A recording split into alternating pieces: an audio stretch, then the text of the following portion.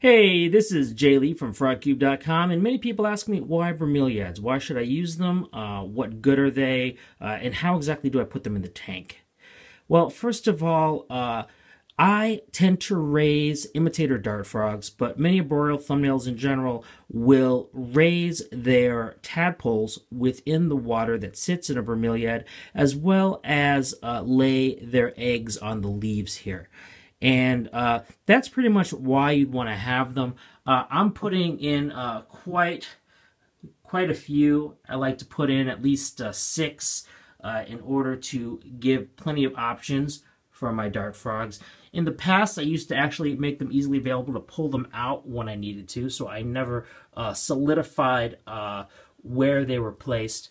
But Generally speaking, if you're going to place them, first of all, you cannot buy the Home Depot kind. Those, uh, they're not going to grow like pups do here, where they have a stem that comes out and grows another bromeliad.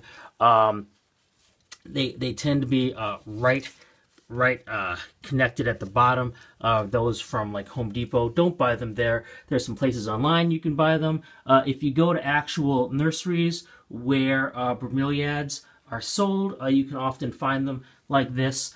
And I just basically cut them right off of the main bromeliad. And uh, all I do is I go to the back here uh, to any cork, or if you have great stuff, it just sticks in easily. But in place of cork like this, I basically drill a hole, and then I just take the bromeliad and stick it right in the hole. I mean, that's pretty much it right there. That's all you need to do.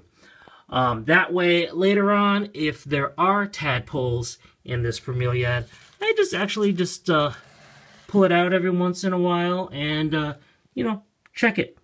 See if there are any. Well, uh, that's it for me. As you can see, I'm putting in quite a few bromeliads into my system here. But uh, the tanks are definitely looking pretty good. I need to give it a few months, I think, because I really want moss to grow in. And I still haven't picked out any vine plants or any uh, terrestrial plants, but uh, I think it's going pretty well. And again, this is Jay Lee from FrogCube.com.